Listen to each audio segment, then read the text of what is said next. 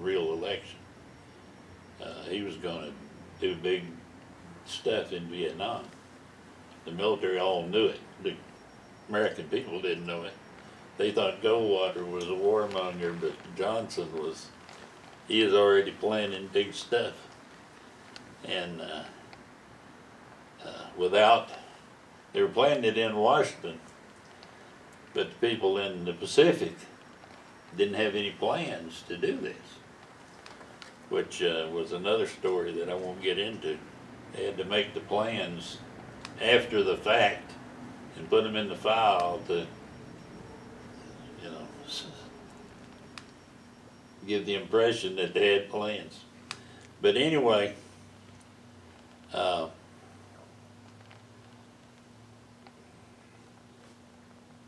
we have to get our, you know, notify transportation people, get our stuff back that's somewhere heading for Germany. Uh, take out the snow sleds and the winter coats and replace it with some, you know, summer stuff because we're going to Hawaii. But I couldn't find out, they wouldn't tell me anything about what I was gonna do, so I assumed I was gonna be in the twenty-fifth division that was, everybody knew was gonna be going to Vietnam, the first division to go to Vietnam because that was their job, twenty-fifth division, stationed at, uh, uh, in Hawaii. So, uh, couldn't find out anything, and I get over there, we fly in, and there's a Navy guy, Lieutenant Commander, and his wife meet us at the airport, you know, do the leis and all this stuff. This traditional Hawaiian greeting. And Laverne says, what's he gonna be doing? And he says, flying. And she said, that scared her. Because she'd always been afraid that I'd get into flying stuff. And, uh, you know, danger and all that stuff. And said, flying, what do you, what do you mean flying? Can't tell you. It's all classified. So I had been smuggled in there as, as the, part of the uh, charter members of the CINCPAC Airborne Command Post, which was an alternative, alternative, uh, command post in case the Russians, uh, knocked out, uh, Camp Smith, uh, because that was before satellite communications. People, a lot of people don't understand, and this is something we can inject here. Before satellite communications, there were no cell phones and, and all that business. The communications between Washington and Saigon, where the war was going on, went by landline to California, undersea cable to Hawaii, and then everything had to be broadcast by radio signals using Air Force communication trailers hopping across the islands all the way to the Philippines and then over to Vietnam. So it was a very complicated thing and everything had to be hard copy printed out and then retransmitted by a human being at, in Hawaii. So if the Russians had hit us with a nuke and knocked out Camp Smith in Hawaii, uh, the war would have come to an end in Vietnam because there'd been no way of communicating except by airplane or carrier pigeon uh, between Washington and Vietnam. So they created this airborne command post, and we had a, me and uh, Lieutenant Colonel, I was a major at the time, uh, had a key and a thirty-eight revolver. And we were the only people with weapons allowed on the plane. We had a key to a lockbox that had the nuclear launch codes for all the nukes from California to India, the whole Pacific Command, submarines and everything. And in case our headquarters uh, on Oahu was knocked out, then we would assume five, eight guys on an airplane, twenty-four hours a day, flying around over the Pacific, would uh, assume command and control of the nukes for the whole Pacific and retaliate because we had the, the real live codes to launch the, uh, nukes to retaliate against uh, anybody that attacked us. So I did that for three years. And it was, it was interesting. Uh, boring at times, but you found things to do. We had exercises and you had to be extremely careful during exercise that you didn't open the wrong envelope. And we had a warrant officer and a Navy chief to do that on the ground one time, and I don't know what happened to them, but they were gone the next morning. Uh, So you don't mess with uh, that type of stuff if you're in uniform. If you're a politician, that's a different thing, I guess. But anyway, uh, I did that for three years, and it was a frozen assignment. Everybody, all my friends are going to Vietnam, and I'm riding around the airplane with these nuclear launch codes. And uh, I was the logistician on the on the battle staff. But it was it was an extremely interesting assignment because since we're flying around going nowhere, because the Air Force called it being we were in orbit. We just you know, they designate a place and we circle around in the sky over the Pacific. And uh, they uh, uh, we hauled a lot of uh, high level passengers, like when uh, uh, General Westmoreland's, who was a commander in Vietnam, as you know. Uh, uh, his family lived in Hawaii for a while, a couple of years while he was commander over there. And when there was a conference or something, like President Johnson is gonna have a conference with President of Vietnam and Westmoreland and so on in the Philippines, if he'd come to Hawaii and spend a weekend and take the family back with him. So I'd end up, uh, Mrs. Westmoreland would uh, play bridge with a couple of the NCOs. And uh, I'd end up manning the, the uh, communications stuff and babysitting their eight, Westmoreland's eight-year-old daughter, who was an interesting character. And uh, I won't get into that other than say that she had met five or six presidents. And she said, I said, are you excited about meeting President Johnson? No, sir. She said, he's always wanting to shake hands, and his hand feels like an old wet fish. I said, who's your favorite president?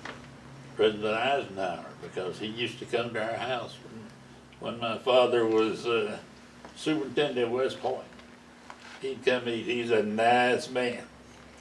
But, uh, so we met a lot of interesting people flying around uh, on, on those, on that airborne command post. But then, uh, I went to Vietnam. And, uh, my first, I don't know if you got time, you can cut this out if you don't have time for it. Uh, my first day in Vietnam was, uh, first night, I guess, was very eventful.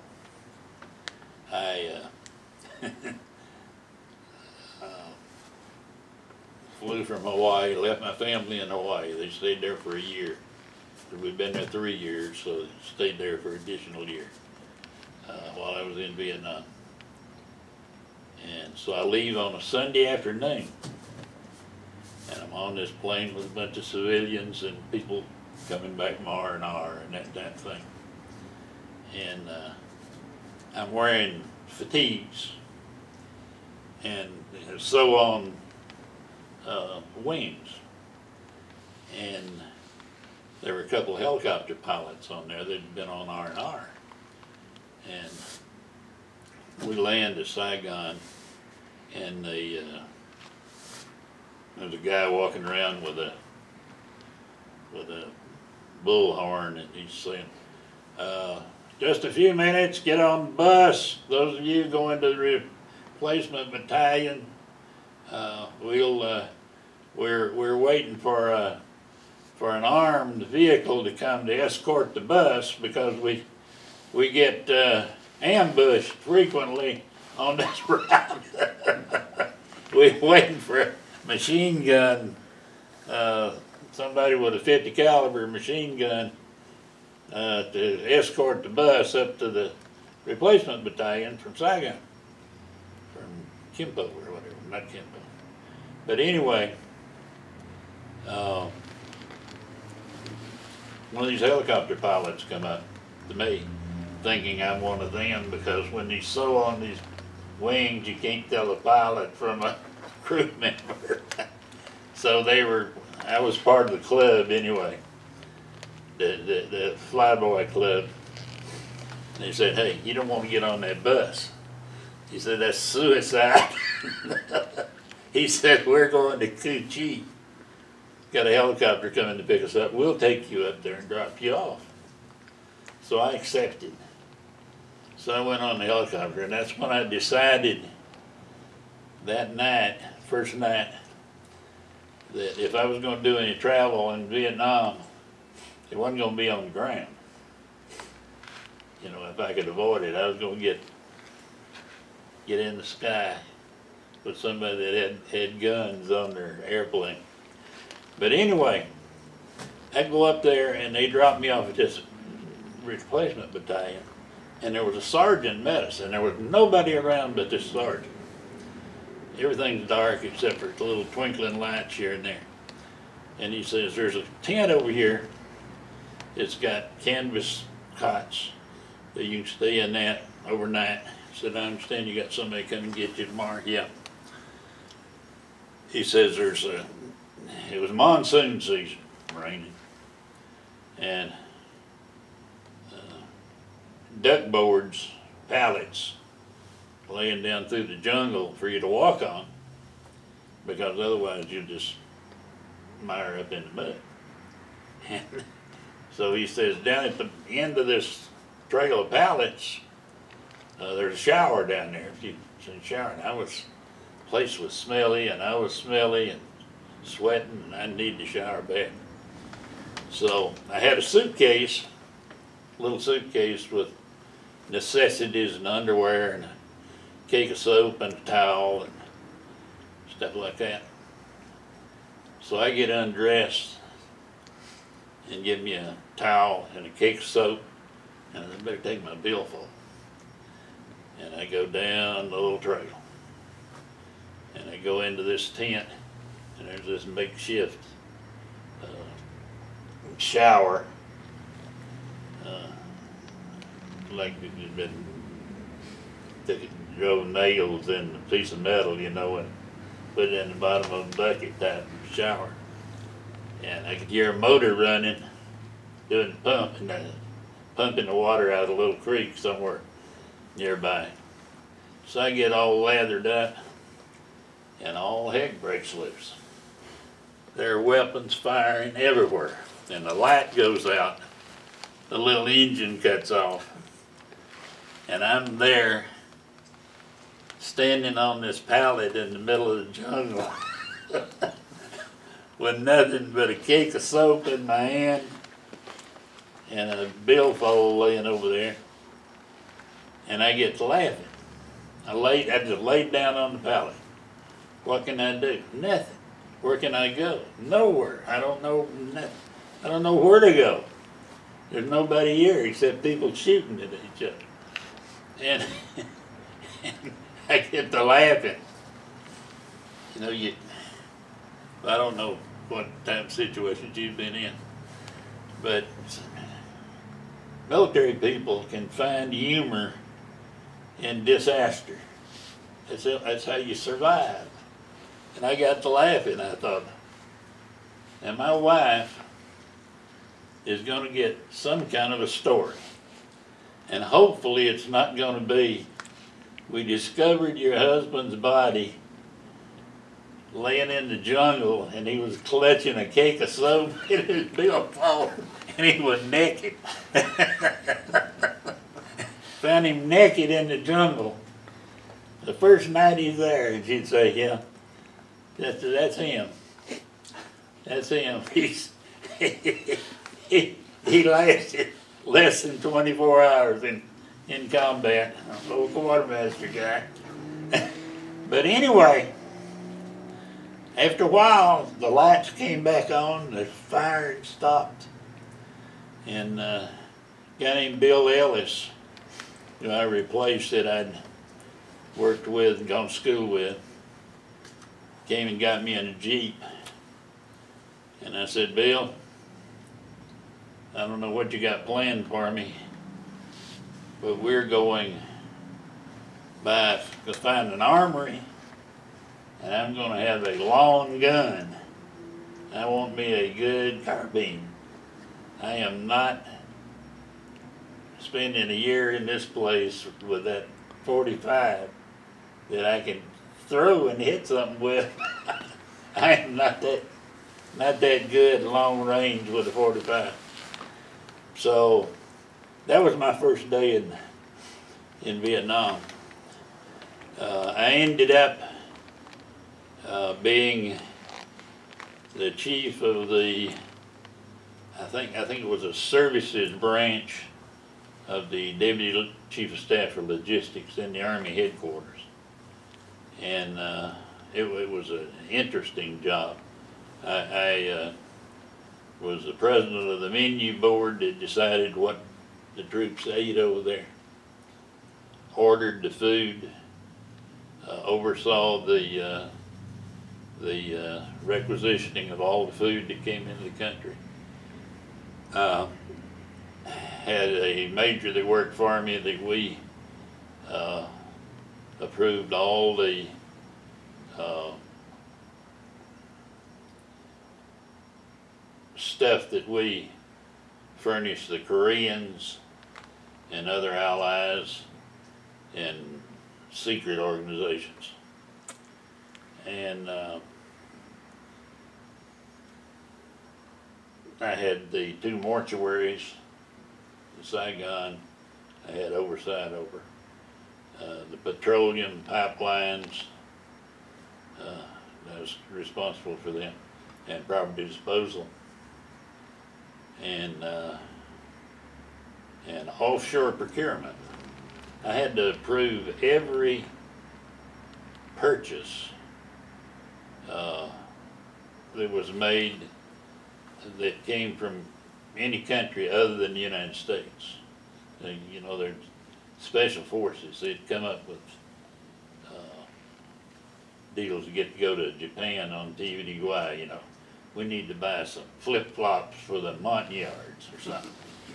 And then some, some senior officer would, had a girlfriend over in Saigon and he, or in uh, Tokyo and they'd spend half of their Vietnam tour supervising this contract.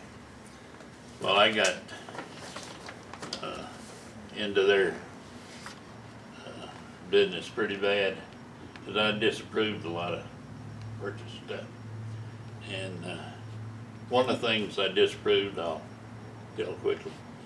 Uh, somebody got the idea to decorate the uh, general housing, general officers housing area, which was uh, a bunch of air-conditioned trailers out in the jungle in a, in a sandbar that had been saturated with Agent Orange. There wasn't a living thing out there except these generals. Maybe a snake crawled in there occasionally.